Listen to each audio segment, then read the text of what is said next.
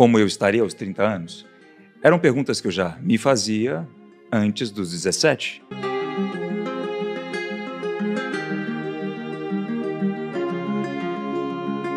Então, tiveram vários gatilhos. As pessoas sempre me perguntam, mas eu não tenho um dia específico que eu recebi um estalo e falei, vou fazer. É o acúmulo de várias e pequenas coisas que vão acontecendo no decorrer da vida. Eu me questionava muito com relação a, ao caminho que eu ia percorrer. Então, ok, eu estou estudando, eu não sei o que eu quero fazer, eu vou descobrir, como todas as pessoas aqui ainda vão. Depois eu vou para uma faculdade, quanto eu vou ganhar? Quanto tempo vou trabalhar? Como será minha vida? Como eu estaria aos 30 anos? Eram perguntas que eu já me fazia antes dos 17, 18 anos. E, de certo modo, eu percebia que aparentemente eu era a única pessoa que questionava aquilo. Se você me perguntasse na época o que eu gostaria de ser ou fazer, seria ganhar dinheiro. Aí eu teria mais liberdade para tomar as minhas próprias decisões.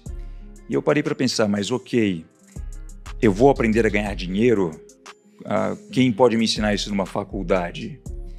E se a pessoa vai estar numa faculdade me ensinando isso, ah, como é o estilo de vida dela?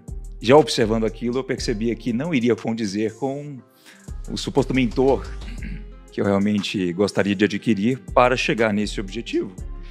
Então foram acúmulos de diversas coisas. Eu sempre fui mais independente, eu dou crédito a isso graças aos meus pais que nunca fizeram questão de me dar sempre o que eu pedia nas mãos e etc.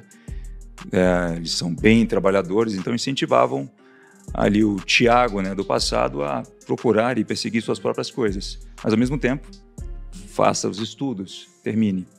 Isso me ajudou de certa forma porque quando eu tentava conseguir alguma coisa que eu queria, eu desejava, seja um bem material, seja, enfim, qualquer tipo de experiência na época, eu sempre percebia o quão limitado eu estava com relação ao dinheiro, sobre esse assunto.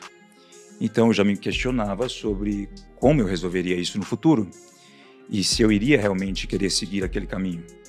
Então, uma das decisões que mais me ajudaram nesse momento a sair do primeiro ano do ensino médio foi o fato de eu ter conhecido o marketing digital pelos norte-americanos. Então, como eu já ficava boa parte do tempo no computador, eu me inscrevi em várias listas de e-mails de diversos, diversas coisas e de repente eu acabei recebendo um e-mail e entendi meio que o padrão ali do que a pessoa estava não oferecendo, mas fazendo, sabe? Aquele padrão de como ela estava tentando incitar uma venda, incitar os gatilhos e etc. E aquilo me chamou muita atenção. Então eu pensei, tá, eu acho que eu sou capaz, mesmo não tendo tanto conhecimento, de fazer pelo menos uma página, como essa pessoa está fazendo na internet, a partir do meu computador em casa.